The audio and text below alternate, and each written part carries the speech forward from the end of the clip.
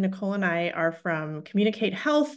So uh, many of you, if you've attended any of these trainings before, you, you've heard a little bit about Communicate Health. So I won't say a whole lot, but basically we are a health communication company, as the name of our company implies. Uh, we are all about making health information easy for folks to access, understand, and use. Uh, I am the content strategy director at Communicate Health, so I lead our team of content and communication strategists. Um, so we are the folks who write all the things, basically, uh, and social media is part of that. Um, we do quite a bit of social media for uh, many of our clients and many of our projects. And let me pass it over to my colleague, Nicole, to introduce herself. Thanks so much, Andrea. Um, I am a project manager for Communicate Health. Um, I have the privilege of working with Andrea and our other colleagues, um, primarily to uh, manage and oversee uh, many federal public health agency social media channels. So I'm really excited to walk through this presentation today. Thank you so much. Pass it back to you, Andrea. All right. And uh, before we move on, I will say that we are happy for you to put your questions in the chat box uh, throughout the training. I know there's a Q&A box too, but if you just want to use the webinar chat, that way we'll just have one place to look. Um, and Nicole and I will do our best to monitor the chat throughout the training and answer them in real time if we can. If we don't get to everything or there's something we can't answer, we're also happy to follow up after the training. And we are planning to save time for questions at the end as well.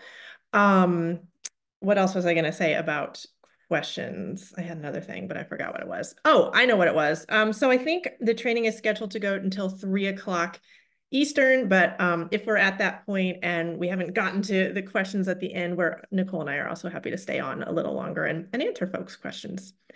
Uh, if you would like captions, that is a Zoom feature um, that you can use. I think there's a little menu. You might have to click the more button and then you should see an option to click captions, show captions, something like that, if you would like those. So let's take a look at what we hope to accomplish today. Uh, we have four kind of main objectives for the training, which is that after today's training, you will be able to write clear, actionable, engaging social media posts to communicate important information to your audiences. Um, and I've seen information about the chat being disabled. Um, so maybe we do need to use Q&A. Emily or Lola, I don't know if you can clarify that for us and you can maybe put in the chat or in the Q&A, let us know. Um, yeah. Do you know, Emily, what's going on there? No, but I'm happy to take a look into it. Okay, awesome. Oh, now it works. Okay, I don't know. Maybe there was a delay. All good though. Either way, well, we I've got the Q and A in the chat open, so we can we can watch stuff come through. Um, all right, what is our next objective? Uh, that you will be able to effectively use hashtags and emojis in your posts. Kind of a fun um, aspect of social media writing that doesn't apply to other types of writing, or maybe it's not fun. Maybe it's annoying and scary to use hashtags and emojis. I don't know how you feel. Um, next, increase engagement with your social media content. So these will be tips that are not just writing tips, but other ways that you can hopefully increase your audience's engagement with your posts. And then finally, we'll talk a little bit about using alt text to help make sure your posts are accessible. So let's start off with, assuming you all can use the chat, um, can you share an emoji that represents how you feel about social media? Um, there's a little emoji button down at the bottom of the chat that hopefully you can click and see your whole selection of emojis. Maybe I'll even start us off. How do I feel? yeah, that's a good one. Party. I like that one. I don't know what I would say. Mm -hmm. What is that with the unamused? I like that one. Kind of smirk, upside down smile. I see. These are good. Yes. Confusing, maybe. Eye roll. I feel that a lot as a 41 year old. Oh, what is that one? Oh, yes. These are great. Thank you. So, okay. So we have a broad spectrum of feelings about social media, which makes sense. Uh, they're still coming. I love it. Um, okay. Well, no matter how you feel about social media, I think you can come out of today's training with some uh, hopefully practical advice to at least make you feel like you can use it more effectively, or maybe it, maybe it'll be a little little easier to use. All right, so why is social media important? Just want to start here getting us all on the same page. Um, basically, it is a well-established health communication outreach tactic. So in other words, it works. Uh, it is it's easy to use and it lets you really quickly and effectively reach large numbers of people. And as you know, that that can be really, really important if you are communicating about something like a, a disease outbreak or a natural disaster that just happened or a foodborne illness that is spreading, you know, any type of emergency communications, right? Um, being able to to communicate quickly to large groups of people is is key. And just one more note, as you can see here, research actually does show that campaigns create longer lasting behavior change in their audiences when they include a social media component. So that is a very good reason to not just put your info on your website and in fact sheets and things like that, but to also share your messages via social, no matter how you may feel about social. Because a lot of people are looking there. All right, one more question, and then I won't ask you any more questions for a while. Um, I'm curious what's the biggest challenge you face, or maybe just a challenge you face when it comes to using social media to communicate your messages. And I know it'll take you a second to type, so I will pause, take a drink of my tea and see what comes into the chat. So, oh, a smaller following, interesting. Mm -hmm. Growing followers, right? You want to reach more people. Anybody else? Mm -hmm. Same. Okay. Yes. Catchy captions. Yeah, I know. We want to be we want to be cute, you know, on social. It's it is it's a different style of writing. It can also give us some creativity though, which is nice. We don't always have that in other other forms of writing. Backlash and conspiracy theories. Yep, that is a big one. That is a big one, and that is tough. And we could do a whole training on that for sure. All right. Difficult to understand content. Yes. So, and we will talk a little bit about that and how to, you know, break down information clearly, but that is tricky because as you know, social media has limited space.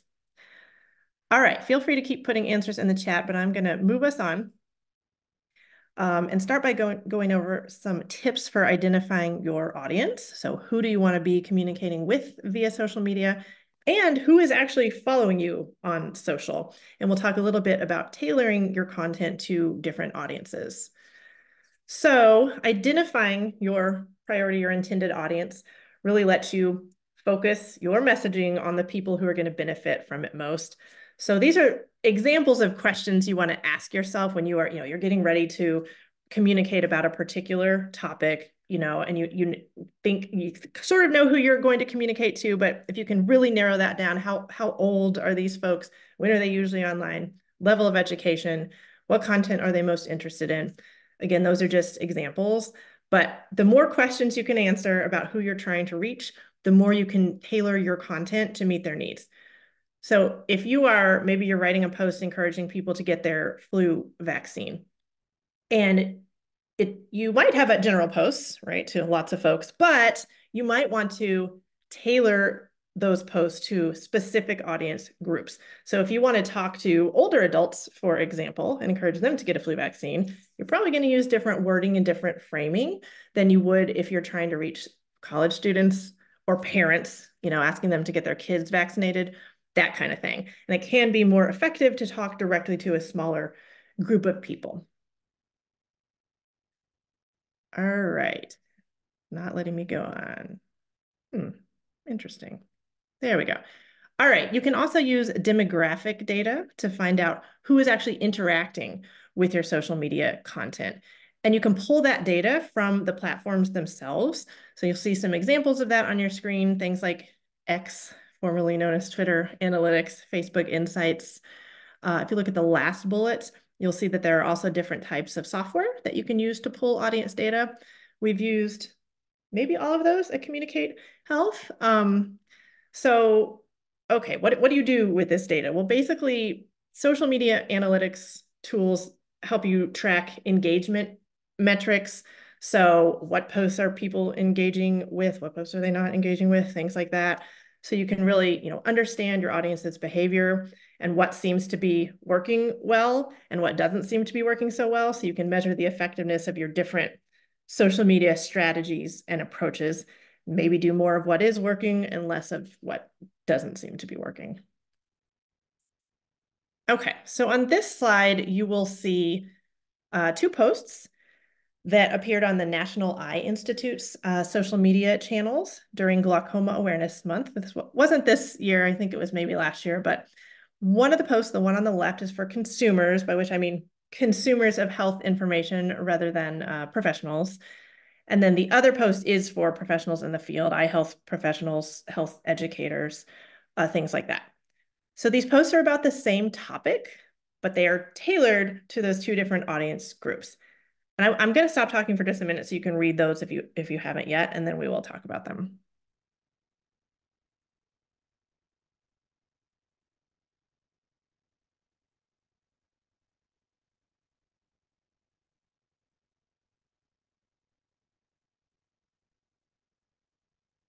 All right, so as you can see, the one on the left for consumers is all about encouraging people to get a dilated eye exam. It talks directly to the reader and encourages them to do just that. Take charge of your health by scheduling a dilated eye exam. Uh, that is a really big, getting a, a dilated eye exam is a really big call to action that, that the National Eye Institute uh, gets across uh, to people during Glaucoma Awareness Month and actually during most of the year. That's a really big um, action that they are always promoting. In the post for professionals, on the other hand, uh, NEI the, the acronym for National Eye Institute, does not need to tell professionals to get a dilated eye exam, but it does want to message to them during Glaucoma Awareness Month. So it has a different message for them though. Its message for them is share our resources to your audiences, basically. So um, that is, you know, a, a different, again, similar topic, same topic, both during Glaucoma Awareness Month, these probably went out two days in a row, maybe even the same day, but different messages. Uh, you can see that the one for professionals starts with calling health educators everywhere, which is one strategy that you can use if you're writing posts for different audiences on the same platform, which sometimes happens. Then people know right away whether that particular post is for them and whether they should keep reading or keep right on scrolling. I will also note, though, that these posts happen to be on different platforms for NEI, and that is also a strategy that some organizations use and can make sense. Like if you know that a particular group mainly follows you on Facebook, you may write Facebook posts tailored to that group, but maybe over on LinkedIn or X slash Twitter, you are reaching a different audience. There may, though, be times when you are sharing a message that is relevant to most or even all of your followers, and you want to reach folks throughout the community across demographic groups. So um, vaccine comms can be an example. I know I was talking about how you can tailor messages to specific groups, but there may be times too when you just, you know, you just want to tell everyone, maybe new COVID vaccines are out and you just want a message letting folks in the community know that and encouraging them to get vaccinated. Um, emergency communication would be another good example here. You know, any sort of emergency air quality is really unsafe or there's some event that contaminated the water supply. So yes, it's totally appropriate then to use your social media channels to just reach everyone who is on those channels. In those cases, when you are writing to a broad audience, we have a couple of tips. Um, the first of which is be sure to use language that doesn't exclude anyone.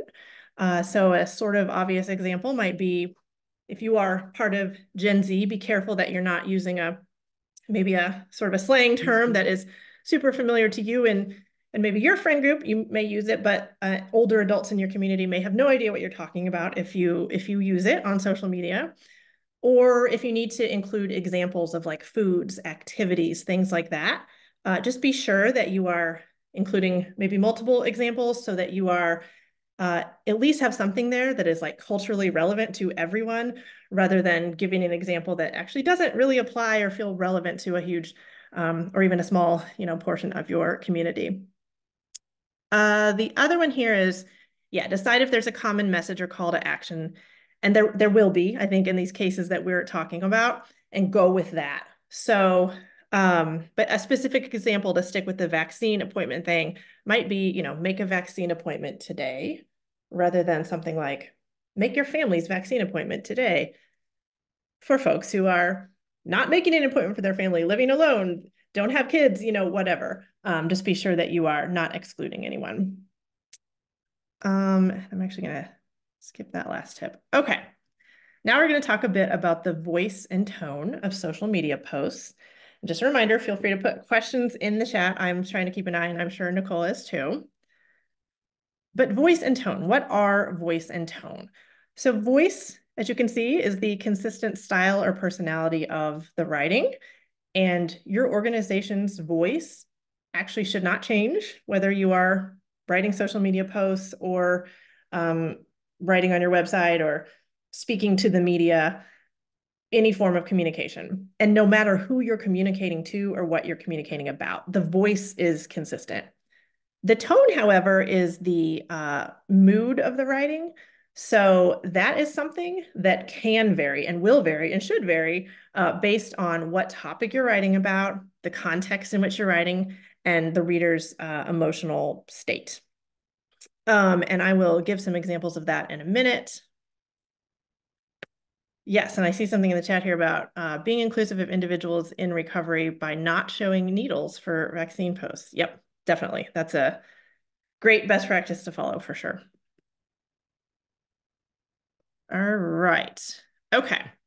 So these posts are also from NEI, the National Eye Institute, but do not worry. Our future examples are not, we're, we're not only going to give you eye health uh, communication posts, since that's probably not relevant to some of you, or I don't know, any of you. Um, okay, so I'm going to pause again, let you read two versions of this post, a before and after, and then we will discuss.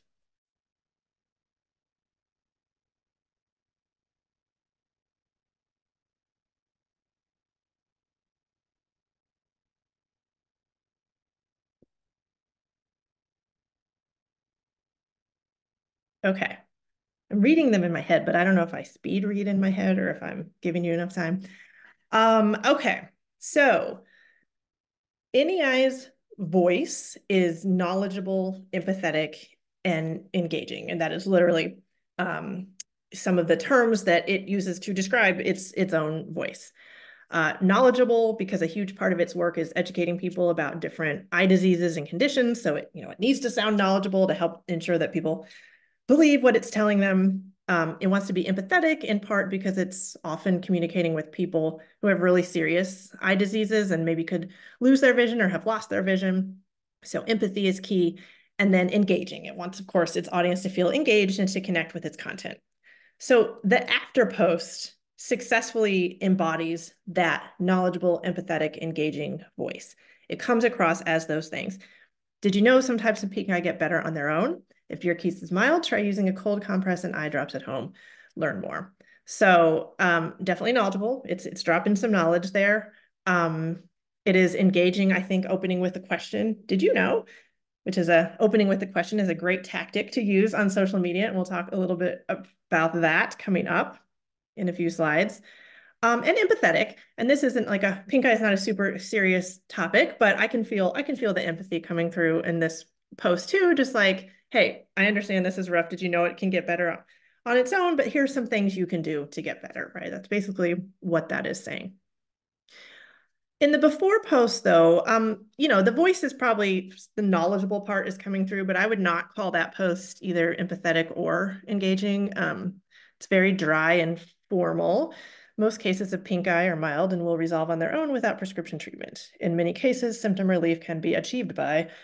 So um, just not great. that doesn't feel like it's empathizing with the reader at all.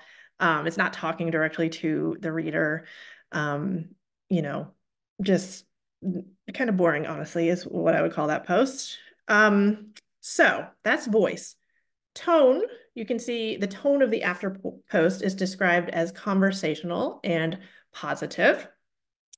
Uh, and I, which I definitely think it is. And I do actually want to point out that conversational and positive are probably, you probably always want your tone on social media to be conversational and positive. Um, however, I noted tone can change, and that is true. The tone may also be other things depending on what you're writing about. So it might be conversational and positive and XYZ things. So if you're writing a post about, you know, something about, I don't know, protecting the environment on Earth Day, you could be playful that have fun with that maybe that's a playful tone but if you're writing about cancer uh, you would not want to be playful right um, you might have a more serious tone so you can be conversational for sure but still be serious um, when when that's appropriate. And yes, I see the comment about did you know posts. Um, yes, and of course there's the DYK did you know hashtag and agree did you know can be a really effective way to pull the reader in, and we definitely use that quite a bit on social. All right, so we've talked about voice and tone. I am curious if any of you know or want to take a guess at um, adjectives that describe your organization's voice, or just how would you describe your organization's voice? So remember the examples um, of voice on the last screen were knowledgeable, empathetic, and engaging. Curious if you have any other adjectives that you would use to describe your organization's voice. If you want to pop those in the chat. Informative is great, yeah, um, and definitely lots of uh, any folks who are providing health information for an organization, yeah, informative, like educational, maybe those are great. Professional for sure. Caring, yes. Oh, and I love approachable. So that is great. That is that feels like yes, people feel comfortable with you. They that's a good one. Personal, caring, empowering, yeah. Um, educational, definitely. Yeah. So I see a lot about, which makes sense. You all have a voice that, yes, certainly is about informing and educating your, your audience, um, sharing knowledge with them, but also um, connecting with them, showing them you care, things like that, right? And empowering them. Trustworthy is a big one. That is a big one. Yeah. And I know it can feel hard to do that on social, but um, yeah, that's a that's a really important one. Great, that's awesome. Um, I was going to say too, before we move on, it is, oh, accountable, interesting. It is a good idea, if you haven't, and maybe some of your organizations have, to like officially define and establish your organization's voice. And this isn't just for the purposes of writing social, but um, for anything that you're writing. And so when I say officially define, I literally mean like documenting somewhere what is your organization's voice, whether you have like a content strategy or something like that. Um, you know, the voice of our organization is encouraging, so people feel motivated. It is helpful, but not prescriptive, something like that. Um, we we do it in that it's this, but not that. That's often how we define it. But you know, the purpose of doing that is just to help make sure that everyone who drafts content for your organization is using a consistent voice and is speaking to your audience in the way that your organization wants. So, okay, let's do tone really quickly. So, uh, how might the tone vary for these? Let's start with holiday travel safety. Like, what might the tone be if we're writing about holiday travel safety? So, thinking about folks, you know, going on road trips for Christmas or flying somewhere for Thanksgiving, that kind of thing.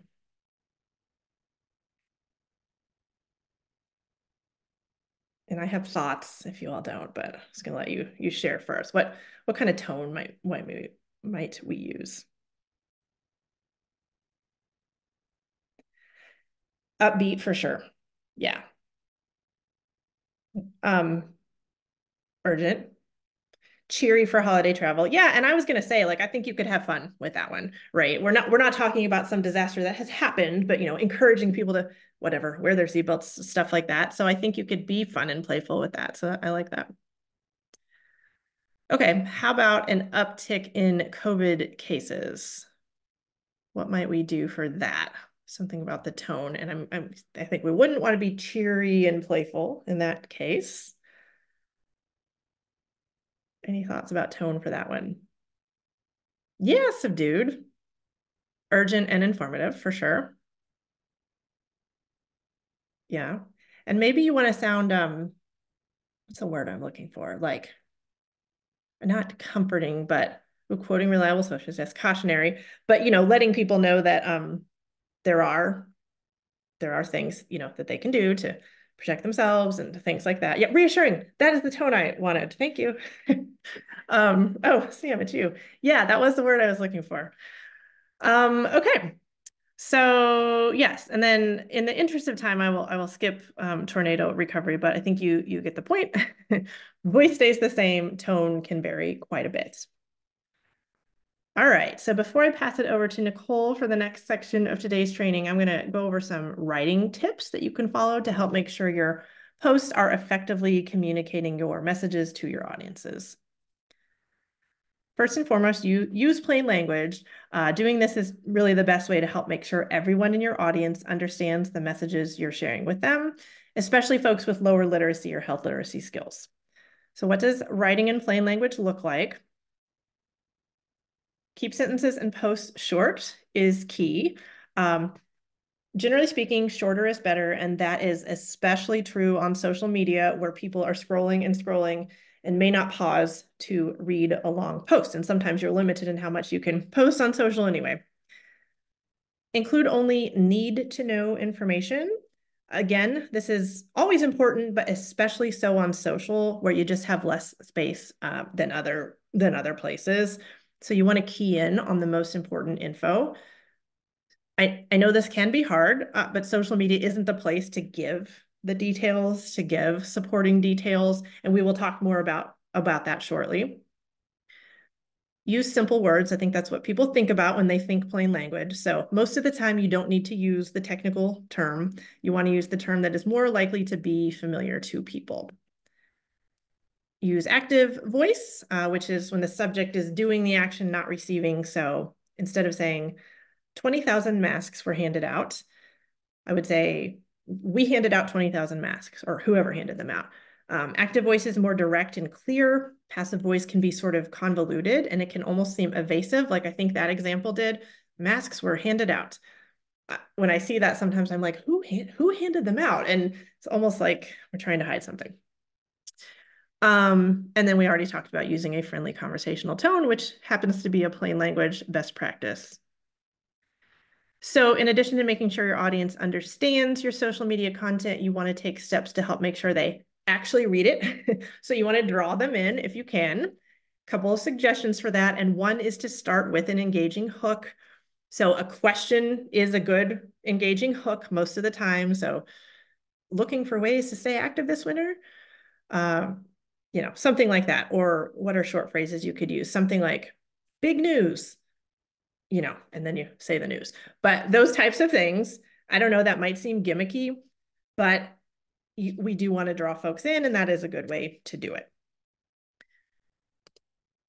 Oh, wait, I didn't mean to go on yet. Um, yes, using an image that supports your content. If possible, you, you want to have an image with every post. Maybe sometimes that's not possible, but um, the reason for this is that images grab people's attention and they are more likely to stop on posts with images and to keep scrolling if they don't see an image. Um, you know, because it looks like a, a block of text and they might just move right on by it. Images also have the benefit of oftentimes supporting your content, right? And maybe even increasing understanding depending on what the image is. All right, include a clear call to action.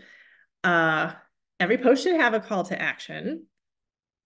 So one good kind of call to action is to encourage a behavior. So clearly state what you want folks to do. So here's an example, change your smoke alarm batteries when you change your clocks.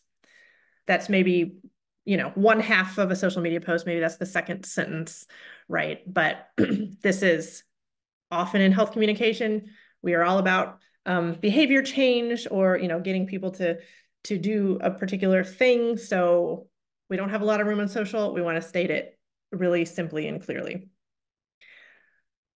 And then, oh, this is a nice tip, and I think we had this in some earlier examples. Um, create a sense of urgency with time-sensitive language. Just a little little tip you can try, but make a flu vaccine appointment today. They really probably don't have to make it today. They could make it in a few days, but you know, getting that idea in people's head is helpful um, to hopefully actually drive that, um, drive them to take that action. And then drive people to more inf information. So this really is key on social. There is only so much you can say there, and that is okay. So really think about what your, your main message is and that need to know info, include that, and then link people to more info. People that want more information will click the link and they will and they will read it. People who don't are probably not going to read a paragraphs long Facebook post anyway, where you pack all that information in. So um, this is this is it can be really difficult to just have two or three sentences on social, but that really is the best approach, and then link people to more info. All right, couple of examples. Um, so the before post says feelings of isolation can be a challenge for those experiencing a mental health crisis, but help is available through blah, blah, blah. Mental wellness matters, hashtag. The shorter after post says struggling with mental health, you're not alone. Visit or call to get help right away. Your mental wellness matters. And then a couple of hashtags. So the before post really does not follow a lot of the best practices that we just discussed.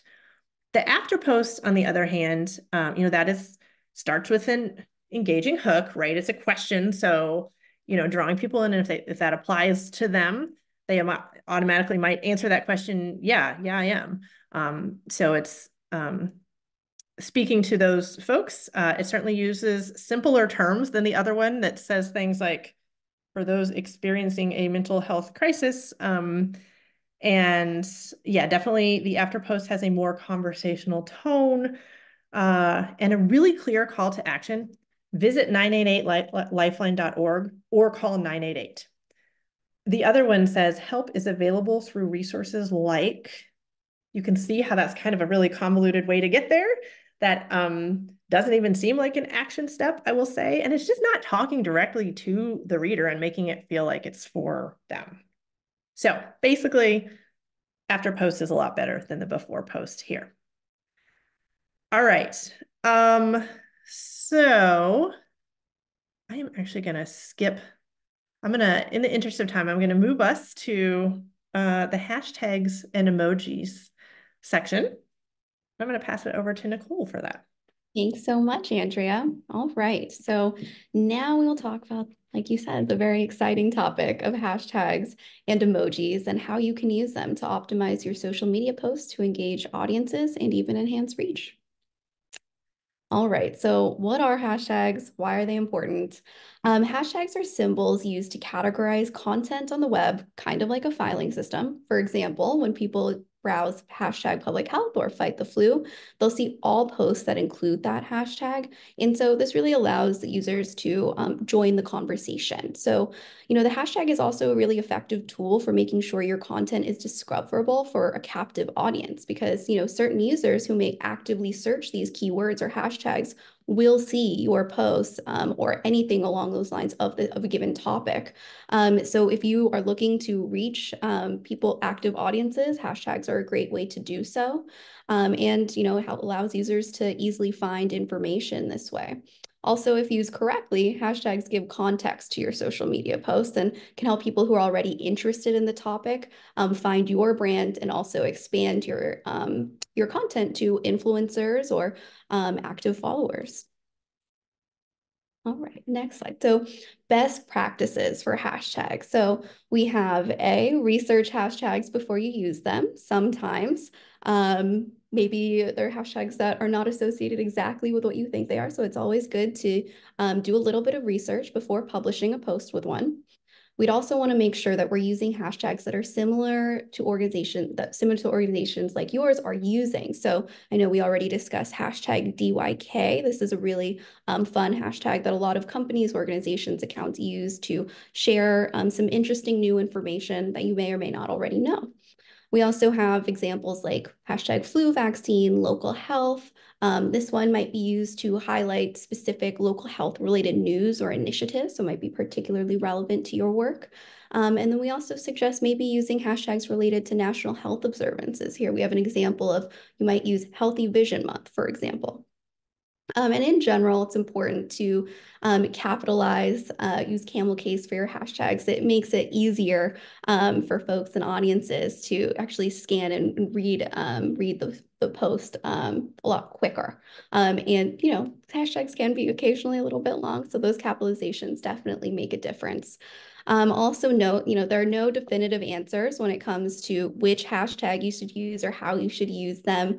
Um, it's just a matter of, you know, using, doing some research, um, and making sure that you know your hashtag strategy aligns with your audiences and um, also you know what what the tone and um, voice of your messaging like Andrea just discussed. All right, next slide. All right, so using hashtags. So we have some step by step here. So check a hashtag's popularity by searching for it on the platform of your choice. Uh, choose hashtags strategically and don't overuse them. It can be a bit distracting if you have too many hashtags in a given post.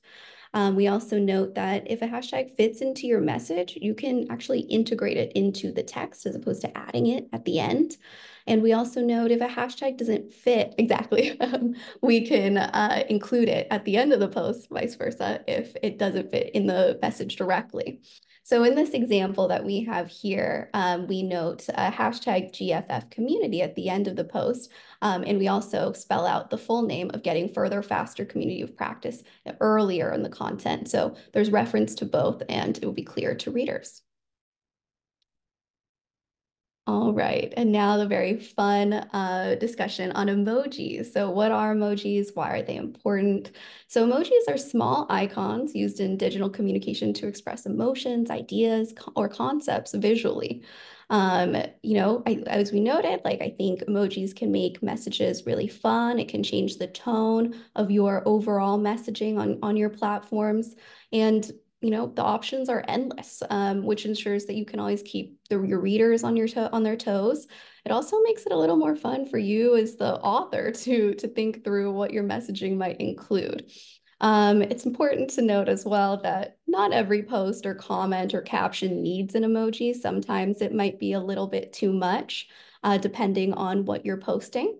Um, and speaking of too much, this this slide is probably an example of too many emojis. It is arguably distracting, but for the sake of this slide, we'll call it fun. And Nicole, can I jump in really quickly with sort of breaking news, something I just read earlier today?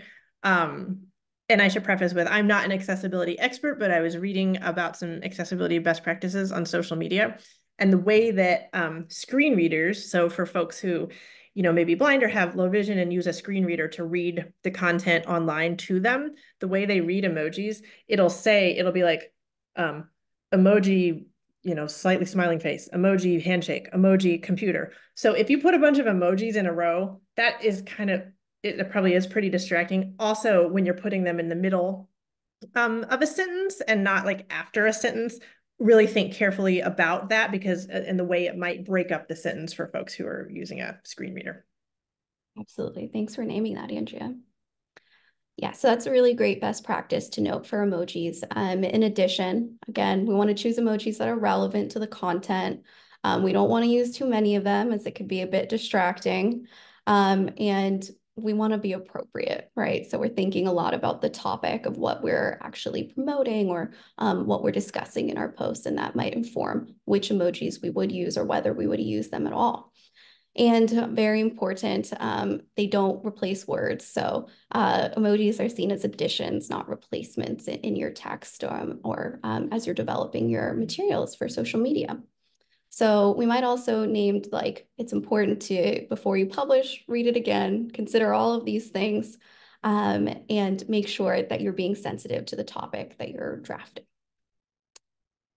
All right, so in this slide, I'll pause a little bit to give you all an opportunity um, to read these sample messages, but here are some examples um, where we include both hashtags and emojis while also using some of the tips and tricks that Andrea noted earlier on how to draft content for social media. So I'll pause here for just a second.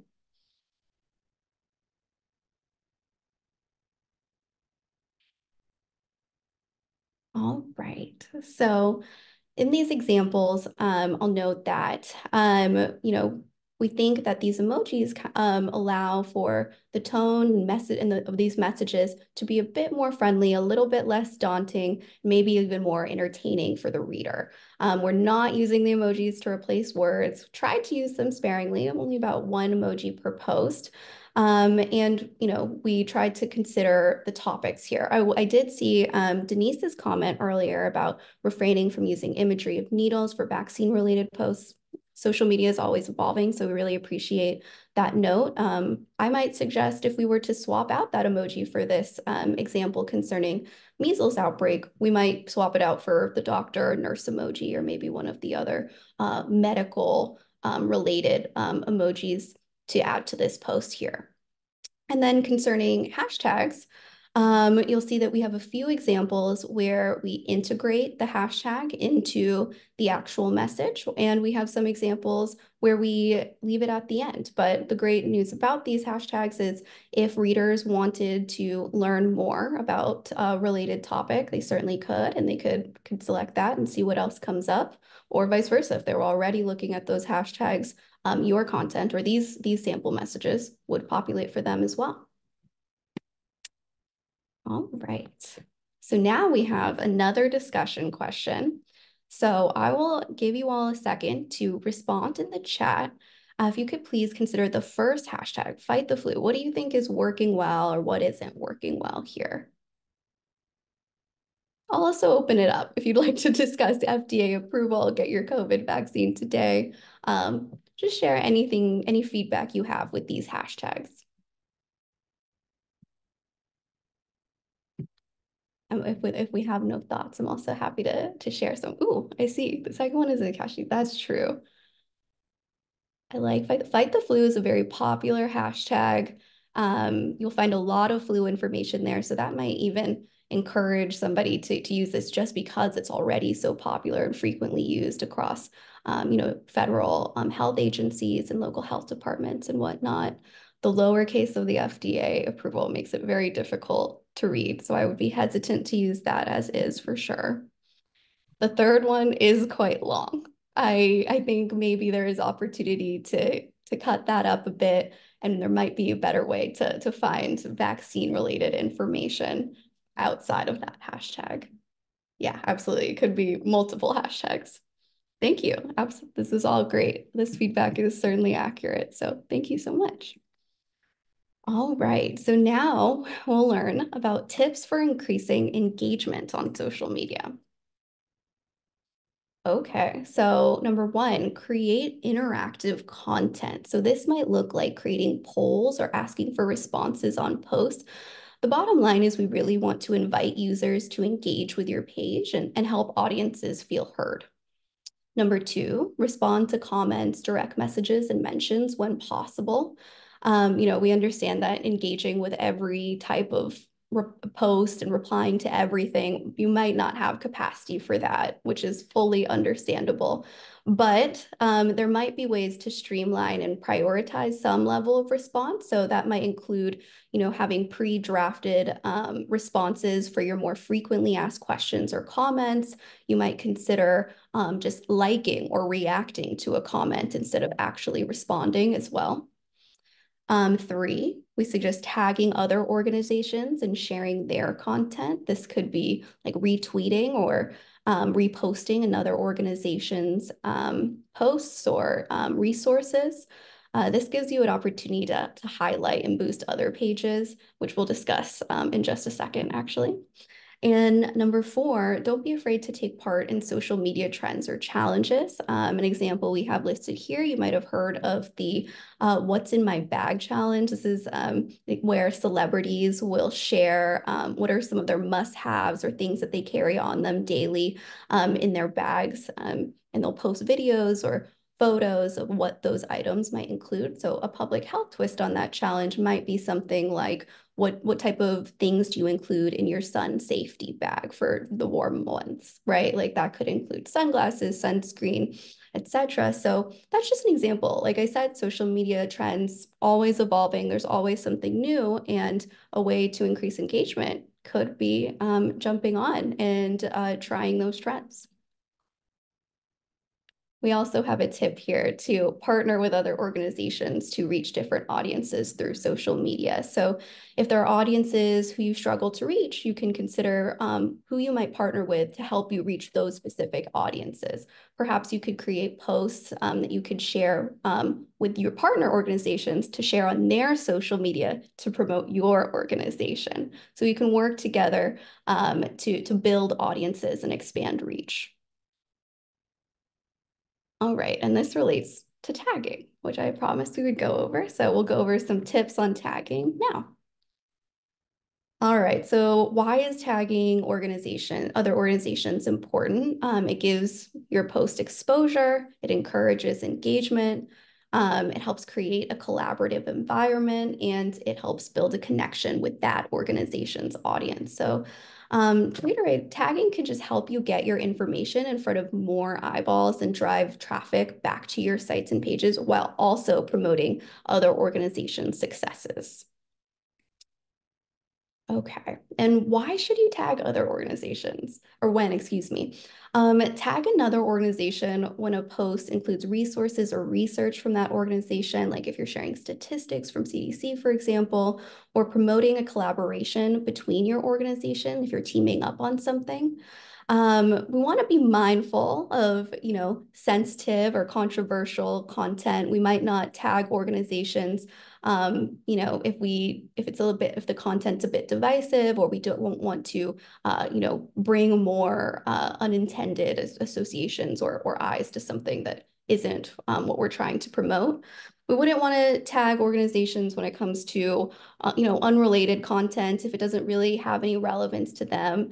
Um, we wouldn't want to bring them in, or we also wouldn't want to overuse tagging another organization, right? There's a there's a fine line of um, maintaining that partnership without going overboard. Um, but yeah, the bottom line is when there's something good you want to highlight, um, or we want to share audience or increase audiences, tagging other organizations, a great way to do that. Um, there are also a few instances where you certainly wouldn't. Um, and the, we want to just keep in mind that also you don't have to tag. So there, there are a few options there. Okay, and using tags. So how do you do that? So first of all, you would check to see if an organization has the social media profile on the platform that you wish to tag them on. Um, if they do, you would find that organization's handle. You would type the at sign, and this should generate a drop-down list of um, different organizations with similar titles. Um, and you would select the tag of the one that aligns with the organization you're wishing to promote in that post. So um, some organizations do have very similar handles, so you want to double check before you actually hit publish there. Okay. And now moving on to alt text. All right, so why is alt text, what, what is alt text and why is it important? So alt text describes an image to web users, including alt text um, with your image ensures that all users, regardless of visual ability, can appreciate that content. So I know Andrea spoke a little bit earlier about screen uh, reading tools. This is an example of, um, you know, how you can use alt text to make um, your content more accessible for those who use, who may use screen reading tools. Um, and it's essentially, you know, just a short description of an image.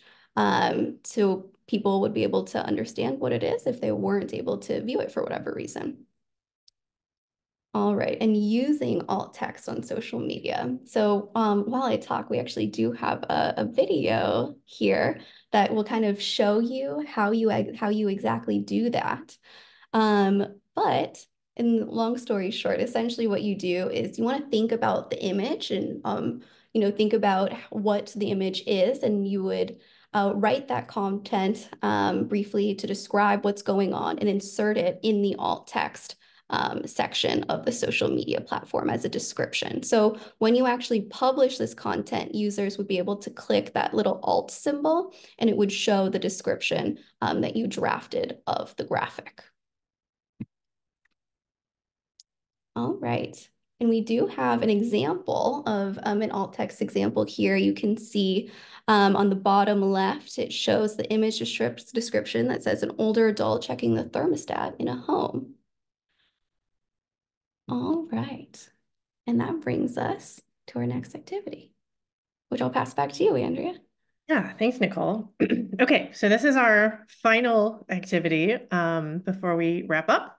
So I will show you in just a minute three different um, kind of topics that you might want to post about on social media and have you, you can pick one and draft a post for it.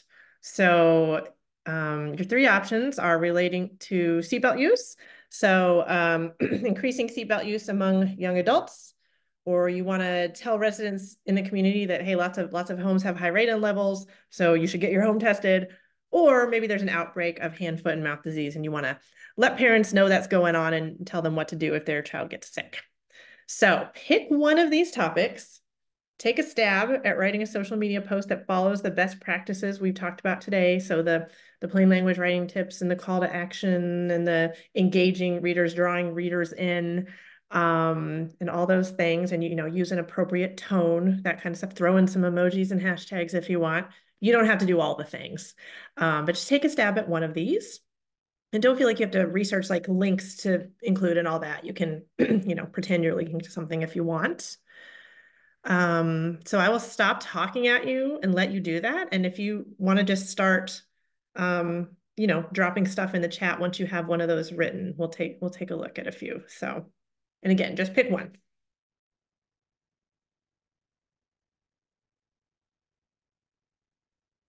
And I see, I will say, I see your question, Denise, about how many languages are available in the alt text. And yeah, and I don't, I do not know how um, translating, you know, how alt text is translated and how that works exactly, but that's um, something we can, we will, we will pull your question and ask our accessibility folks on our end. And we can follow up um, with Emily and hopefully get you an answer. Ooh, okay. So I see one for seatbelt use. Don't roll the dice with your safety behind the wheel. Dice emoji. Click it or ticket, which is a which is a common hashtag used um, for seatbelt use. And I like that. I like that that is really playful. Like you can be real serious. I was looking up examples of seatbelt use posts, and a lot of times they're very much like, um, you know, listen, you your life is at stake, you know, whatever. They're very serious, but like maybe when you're talking to a younger audience, maybe some of these are college students, right? Like maybe that's not the right approach. So I do really like kind of having fun with that. I think that can be a great approach for that audience. So awesome job and keeping it short too. Um, ready to go on a road trip? Buckle up before you go. Seatbelt save lives, road safety, other ha other hashtags I was seeing for sure. And I love the question, drawing them in with a question. That's good. Road trip seems um, really appropriate for that audience too. Um, oh man, everybody's doing the first post. Okay, hey you, yes, I'm talking to you. So yeah, you all are doing great with the draw them in, engage the reader with a with a short phrase or you know a question. So I love that. Hey you, yes you, I'm talking to you, Gen Z. Seatbelts are more than just straps; they're your daily fashion accessory for the road. Ooh, I'm seeing cool graphic ideas with that. Actually, yeah. Anybody want to do radon testing or hand, foot, and mouth disease?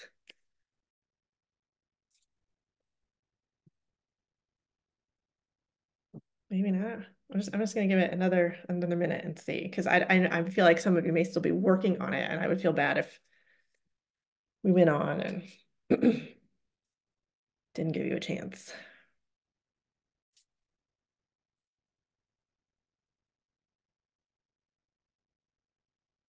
I will just tell you, I played around with some, and for um, oh, know the symptoms. This must be for hand, foot, and mouth disease. Uh, no, you're good. It's hard. Yeah, if you hit enter, it just posts it. Um, with that one, I will say with that post, I I played around starting with a attention parents, right? Draw their attention. Maybe then there's emoji, an emoji after that, like with a what was it called? The megaphone one, maybe. Um, something like that. Did you know that a click can save your life? Oh, click it. Yep. So yeah, kiddo got a rash. It could be hand, foot, and mouth disease know the signs, and seek medical care when needed. Parenting little ones. Yeah, these are great. I actually don't want to show you mine because I think yours are better. So yeah, awesome job. I think you all are doing wonderful. If anybody else wants to put one in there, go for it. I would love to see what you came up with. Uh, but in the meantime, I'm going to move us on so we can uh, wrap up by three. But again, we will still stay for questions. If anyone has additional questions, we're here for them. So Hopefully today you learned a bit about writing clear, actionable, engaging social media posts to communicate important information to your audiences, about effectively using hashtags and emojis in your posts, about increasing engagement with your content, and a little bit about using alt text to help make sure your posts are accessible. So uh, look at us with two minutes to go before three o'clock. Um, I'm going on here. Emily, tell me if I'm doing something wrong, but it, it looks like it's time for the post survey and also for questions if anybody wants to put questions in the chat. Yes, thank you so much, Andrea and Nicole. I have learned so much today myself. Um, things that I didn't even know. Um, kind of storytelling within like two to three sentences on social media is so powerful. So thank you so much.